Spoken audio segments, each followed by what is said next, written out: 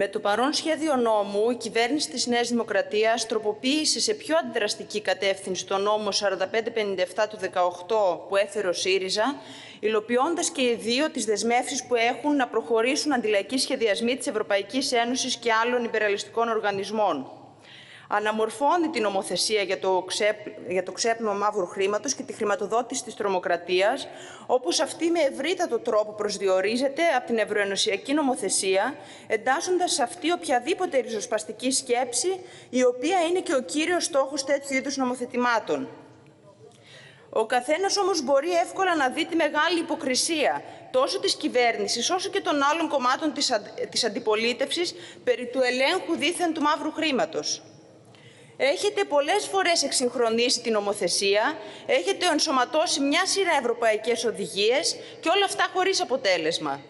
Ενσωματώνουμε την πέμπτη σήμερα οδηγία και ανακοινώθηκε ήδη ότι ακολουθεί έκτη και έβδομη, γιατί όπως όλοι σας παραδέχεστε, τα όποια μέτρα ψηφίζουμε κρίνονται στην πράξη ανεπαρκή για την καταπολέμηση των διαδρομών του μαύρου χρήματος. Γιατί λοιπόν όλες αυτές οι προσπάθειες δεν αντιμετώπισαν το πρόβλημα; Διότι τέτοιου είδους φαινόμενα τροφοδοτούνται ακριβώς από την ίδια τη λειτουργία του καπιταλιστικού συστήματος. Είναι γέννημα θρέματο αδυσόπιτο ανταγωνισμού ανάμεσα στους μονοπωλιακούς ομίλους της ελευθερίας κίνησης κεφαλαίων για το κυνήγι του μέγιστου ποσοστού κέρδους. Μάλιστα, στην αιτιολογική έκθεση, αναζητώντας τις αιτίες του προβλήματος, μιλάτε για την ανωνυμία των συναλλογών, αλλά και εδώ προβλέπετε μόνο τον περιορισμό τους. Γιατί δεν απαγορεύεται στο σύνολό τους τις ανώνυμες αυτές συναλλαγές; Όταν το σύστημα αυτό θεωρεί νόμιμη τη λειτουργία των offshore εταιριών, των φορολογικών παραδείσων, όχι μόνο στις τρίτες υψηλού κινδύνου, όπως τις χαρακτηρίζεται χώρες, αλλά και εντός της Ευρωπαϊκής Ένωσης. Δεν είναι οι μεγαλύτερες ευρωπαϊκές τράπεζες που κατά καιρούς έχουν, έχουν εμπλακεί σε υποθέσεις ξεπλήματος μαύρου χρήματος. Είναι και εκεί σκοτεινός ο χώρος και δεν μπορείτε να ελέγξετε τις διαδρομές τους. Η δημιουργία των όποιων ελεγκτικών μηχανισμών, λοιπόν, μπορεί μεν κάποιες φορές να βγάζει στην επιφάνεια ορισμένες περιπτώσεις διαφθοράς, στο πλαίσιο και του ανταγωνισμού των επιχειρήσεων, όμως ακόμα και αν το θέλατε, δεν μπορεί να καταπολεμήσει αυτά τα φαινόμενα γιατί παραμένει αλόβητη η ρίζα που τα γεννά. Γιατί κυριαρχεί η ελεύθερη καπιταλιστική αγορά, η ανταγωνιστικότητα, η επιχειρηματικότητα, στο όνομα της οποίας όλοι σας πίνετε νερό. Αυτά αποτελούν το θερμοκήπιο της συγκέντρωσης και του ξεπλήματος του μαύρου χρήματος. Τέτοιου είδους λοιπόν νομοθετήματα αποτελούν μόνο το φύλλο σικής του συστήματος. Και κοιτάξτε, επειδή έκανε μια τέτοια ανοίξη ο κύριος Ζαβός στην Επιτροπή, μην μας λέτε τώρα ότι θα περιμένατε από το ΚΚΕ να ζητάει πιο αυστηρούς ελέγχους, γιατί ξέρετε πολύ καλά τι σας ζητάει το ΚΚΕ, αν θέλετε πραγματικά να ελέγξετε τους επιχειρηματικούς ομίλους και γι' αυτό σφυρίζετε αδιάφορα. Φέρτε μια ρύθμιση, σας προκαλούμε, για την ονομαστικοποίηση όλων των μετοχών, την πλήρη ονομαστικοποίηση χωρίς τρύπες και παραθυράκια. Απαγορεύστε τις offshore και τη διακίνηση των κεφαλαίων μέσω αυτών.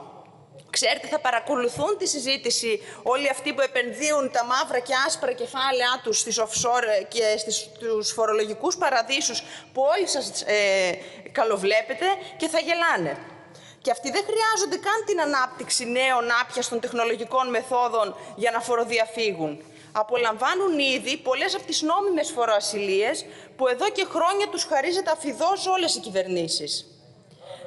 Νόμιμες δεν είναι οι φοροαπαλλαγές ύψους δισεκατομμυρίων των εφοπλιστών με τα οποία χρηματοδοτούν πολλές φορές και σοβαρότατες αλλά ιδιαίτερως επικερδείς εγκληματικές δραστηριότητες όπως το εμπόριο ναρκωτικών, όπλων και άλλα. Με νόμιμο τρόπο προβλέπεται για τα μεγάλα πορτοφόλια του εξωτερικού χρυσή βίζα ή συμβολική φορολόγηση για να αποφύγουν σχετικούς ελέγχους στη χώρα τους. Ενώ παράλληλα διατηρείται πλήρως ένα διεθνές χρηματοπιστωτικό σύστημα, στο οποίο είναι γνωστό ότι με αρκετά λεφτά εξασφαλίζεται η ανωνυμία του λογαριασμού. Να γιατί λέμε ότι είναι υποκρισία όσων ομνίουν στην ελεύθερη αγορά και την ελεύθερη κίνηση των κεφαλαίων και απ' την άλλη παριστάνουν ότι με τέτοια νομοθετήματα θα διακόψουν τις διαδρομές του μαύρου χρήματος και το ξέπλυμά του. Υπάρχει όμως και μια δεύτερη, σοβαρότερη ίσως πλευρά του νομοθετήματος.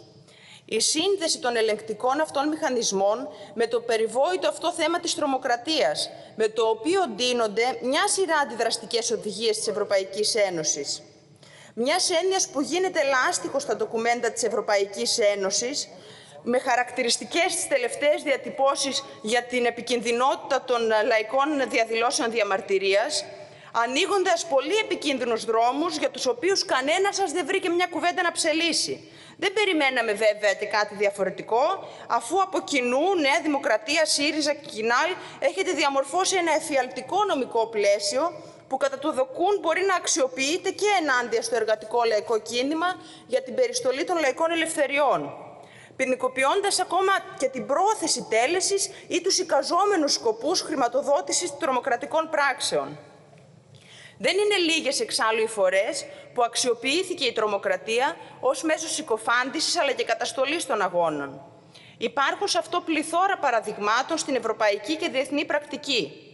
Υπό αυτό το πρίσμα είναι ιδιαίτερο, ιδιαίτερα επικίνδυνο όταν με αυτό το πρόσχημα φτιάχνεται ένα σφιχτό πλέγμα ελέγχων με απεριόριστη πρόσβαση σε προσωπικά δεδομένα και μάλιστα σε διακρατικό επίπεδο. Επιχειρείται μάλιστα με την ενσωμάτωση των σχετικών ευρωενωσιακών οδηγιών, όπως αναφέρεται και στην αιτιολογική έκθεση, να διευρυνθούν για το σκοπό αυτό οι δυνατότητες συνεργασίας των εμπλεκόμενων φορέων, καθώς και η πρόσβαση σε μητρώα και διαθέσιμες πληροφορίες σε ευρωπαϊκό επίπεδο. Αναφερθήκαμε αναλυτικά και στις επιτροπές σε ορισμένες ιδιαίτερως αντιδραστικές διατάξεις, οι οποίες προϋπήρχαν βέβαια ως προς τη βασική λογική τους στο νόμο 4557 του ΣΥΡΙΖΑ, όμως πολλές από αυτές το παρόν νομοσχέδιο τις χειροτερεύει ακόμα περισσότερο. Γιατί πέρα του ότι είναι πολιτικά απαράδεκτο να αντιμετωπίζονται μαζικοί φορείς, συνδικαλιστικές οργανώσεις και πολιτικά κόμματα όπως οι καπιταλιστικές επιχειρήσεις, ελέγχοντα, ελέγχοντας την ουσία τους κατά το Σύνταγμα βασικούς πυλώνες του δημοκρατικού πολιτεύματος σαν ενδυνάμει ύποπτες οντότητες για το ξέπλυμα μαύρου χρήματος και τη χρηματοδότηση της τρομοκρατίας, αλλά ταυτόχρονα η υπαγωγή τους σε αυτό το νόμο δεν μπορεί να βρει έρισμα, έρχεται σε πλήρη αντίθεση με το αυστηρό νομοθετικό πλαίσιο που τους διέπει. Οφείλουν να εξαιρεθούν οι συλλογικές, μαζικές και συνδικαλιστικές οργανώσεις τόσο από τις διατάξεις του άρθρου 2 σχετικά με την υποχρέωσή τους να δηλώσουν εκπροσώπους τους στο Μητρό Πραγματικών Δικαιούχων, αλλά κατ' επέκταση και στη δυνατότητα που έχει ανοιχθεί με το άρθρο του ισχύοντος νόμου για επέμβαση του κράτους και των αρχών στις εσωτερικές διαδικασίες αυτών με υπουργικές αποφάσεις που θα καθορίζουν τον τρόπο λειτουργίας και διαχείρισης των οικονομικών τους. Καταρχήν, η έννοια του πραγματικού δικαιούχου της περιουσίας αναφέρεται σε φυσικό πρόσωπο για λογαριασμό του οποίου γίνεται μια οικονομική συναλλαγή ή δραστηριότητα στους πραγματικούς αποδέκτες ή ωφελημένους που κρύβονται πολλές φορές πίσω από εταιρείες ή άλλα νομικά πρόσωπα. Τέτοια έννοια πραγματικού δικαιούχου δεν νοείται για οργανώσεις του εργατικού λαϊκού κινήματος, που ούτε μπορούν ούτε πρέπει να έχουν ατομικούς δικαιούχους της όποιας συλλογικής περιουσίας και οικονομικής δράσης. Δεν έχουν εξάλλου οικονομικό σκοπό, αλλά έχουν σκοπό την υπεράσπιση των δικαιωμάτων και των αναγκών του λαού δρούν συλλογικά, ελέγχονται συλλογικά και για τα οικονομικά τους, την όποια περιουσία τους που αφορά συνδρομές, εισφορές μελών κλπ. Την όποια οικονομική τους δραστηριότητα που καλύπτει μόνο τα έξοδα για την ύπαρξη και την αγωνιστική τους δράση. Δεν επιτρέπεται λοιπόν να υπαχθούν συλλήβδιν όλες οι μαζικές εργατικές λαϊκές οργανώσεις και φορείς στις ίδιες υποχρεώσεις που υποβάλλει ο νόμος για τις επιχειρήσεις, χωρίς έστω να τεθούν συγκεκριμένα κριτήρια, όπως ενδεικτικά η διαχείριση κοινοτικών και κρατικών κονδυλίων, η άσκηση de facto οικονομικής εμπορικής δραστηριότητας, όπως συμβαίνει για παράδειγμα με σειρά μη κυβερνητικών οργανώσεων. Ειδικά όμως για τα εργατικά σωματεία, αυτού του είδους οι δραστηριότητες αποκλείονται ρητά και κατηγορηματικά από το αυστηρό ειδικό νομικό πλαίσιο που τις διέπει, το συνδικαλιστικό νόμο, που με εξαντλητικές λεπτομέρειες καθορίζει τους σκοπούς, το χαρακτήρα, τον τρόπο λειτουργίας και ελέγχου των σωματείων. Δεν, μπορεί, δεν μπορείτε επομένως προκειμένου να κρύβεστε ε, ή να επικαλείστε την ενσωμάτωση της Ευρωπαϊκής Οδηγίας, γιατί η εξαίρεση τους επιβάλλεται από το ίδιο το νομικό πλαίσιο που τις διέπει, από το νόμο 1264 του 82, ο οποίος προφανώς ε, στο, με ίδια εξαντλητικά κριτήρια, αντίστοιχος νόμος δεν υπάρχει σε άλλες ευρωπαϊκές χώρες, ώστε να επικαλείστε την ανάλογη πρακτική άλλων χωρών. Αρχικά, ο ίδιος ο νόμος τους σκοπούς των συνδικαλιστικών οργανώσεων απαγορεύει ρητά να έχουν κερδοσκοπική δραστηριότητα. Επίσης, οι πόροι των συνδικαλιστικών οργανώσεων αναφέρονται περιοριστικά στον νόμο, ενώ ρητά προβλέπεται ότι οποιαδήποτε δωρεά ή επιχορήγηση γίνεται πάντα ονομαστικά και απαγορεύονται να δέχονται, απαγορεύεται να δέχονται εισφορές και ενισχύσεις από, οργανώσεις, από εργοδότες και τις οργανώσεις τους, καθώς και από κομματικές και πολιτικές οργανώσεις. Αλήθεια, πείτε μας, προβλέπετε κάτι τέτοιο για απαγόρευση ανώνυμων ενισχύσεων σε οποιαδήποτε μορφή επιχείρησης ή άλλων νομικών προσώπων κερδοσκοπικών ή μη, ώστε να δικαιολογείται να αντιμετωπίζονται με τον ίδιο νομικό τρόπο; Όταν ο ίδιος ο συνδικαλιστικός νόμος λέει ότι στην περίπτωση διάλυσης των εργατικών σωματείων δεν επιτρέπεται η όποια περιουσία τους να μοιραστεί στα μέλη, πόσο μάλλον σε έναν αποκλειστικά δικαιούχο, αλλά αυτά θα περάσουν αυτόματα στις δευτεροβάθμιες ή τριτοβάθμιες συνδικαλιστικές οργανώσεις. Ποιος νοείται πραγματικός διαχειριστής της συλλογικής περιουσίας; Οι εκπρόσωποι των σωματείων, ο πρόεδρος και ο γραμματέας αυτών, απαγορεύεται κατηγορηματικά να εκμεταλλεύονται, να καρπώνονται τα περιουσιακά στοιχεία αυτών Πώς ζητάτε λοιπόν να δηλωθούν οι ίδιοι ως πραγματικοί δικαιούχοι στο σχετικό μητρό; Κυρίως όμως, ζητώντας οι εκπρόσωποι των σωματείων με το σύνολο των ευαίσθητων προσωπικών δεδομένων από το ονοματεπώνυμο, την ημερομηνία γέννησης και το αφημί μέχρι τη διεύθυνση κατοικίας, τα τηλέφωνα και ό,τι άλλο μπορεί να θεωρηθεί ως προσδιοριστικό της ταυτότητάς του, ε, αυτό εξάλλου προβλέπει ο νόμος, ότι μπορεί περαιτέρω στοιχεία να ζητηθούν να ενταχθούν στο Μητρό, να καταγράφονται σε ένα Μητρό, ελεύθερα αξιοποιήσιμο και προσπελάσιμο από τις διοκτικές και άλλες αρχές της χώρας, αλλά και της Ευρωπαϊκής Ένωσης. Και μάλιστα ε, προβλέπεται η δυνατότητα ακόμα και οποιοδήποτε μέλος του κοινού να έχει πρόσβαση σε αυτά τα στοιχεία, με ορίζοντα μάλιστα μέχρι και 10 έτη μετά τη διάλυση των συνδικαλιστικών φορέων που εκπροσωπούν. Με αυτές τις ρυθμίσεις βάλετε ευθέως, βάζετε κυριολεκτικά βόμβα στο θεμέλιο λίθο του συνδικαλιστικού νόμου, που είναι αυτή ακριβώς η συνδικαλιστική προστασία. Και επειδή ακούσαμε πριν ότι όλοι σας εκφράσατε την ευαισθησία σας για τη διάκριση των, των εξουσιών, σε ό,τι αφορά την ε, λαϊκή απέτηση να, να βρεθούν οι εγκληματίες ναζιστές δολοφόνοι της Χρυσής Αυγής στη φυλακή, εκεί όπου έπρεπε να έχουν πάει πολλά χρόνια τώρα, δεν υπάρχει πρόβλημα διάκρισης εξουσιών όταν ρητά ο νόμος προβλέπει ότι οι δικαστικές μονοαρχές, το πρωτοδικείο δηλαδή, μπορεί να ελέγχει τις διαδικασίες των σωματείων. Πώς νομιμοποιείται δηλαδή η εκτελεστική εξουσία να κρατάει και να επεξεργάζεται ένα μητρό εκπροσώπων των ε, συνδικαλιστικών οργανώσεων; Εδώ δεν υπάρχει πρόβλημα, δεν υπάρχει εδώ σύγκρουση εξουσιών. Δεν είμαστε λοιπόν εμείς που ζητάμε την εξαίρεση των εργατικών σωματείων και οργανώσεων από τις ρυθμίσεις του παρόντος νόμου. Αυτή επιβάλλεται από τον ίδιο τον νόμο που τις διέπει, αλλά και από αυτό ακόμα το Σύνταγμα που προστατεύει τη συνδικαλιστική ελευθερία.